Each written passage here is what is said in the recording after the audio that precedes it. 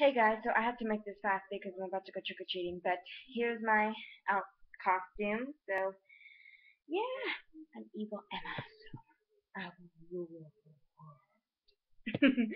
I'm sorry, I'm a huge Every Witch Way fan, but um, yeah, so I had to make this really quick, so I'm sorry if this video is only about a few seconds, but I just need to make this really quick. Happy Halloween, guys, and um, wish me luck. I'm probably gonna get a load of candy, so um, but yeah. Bye.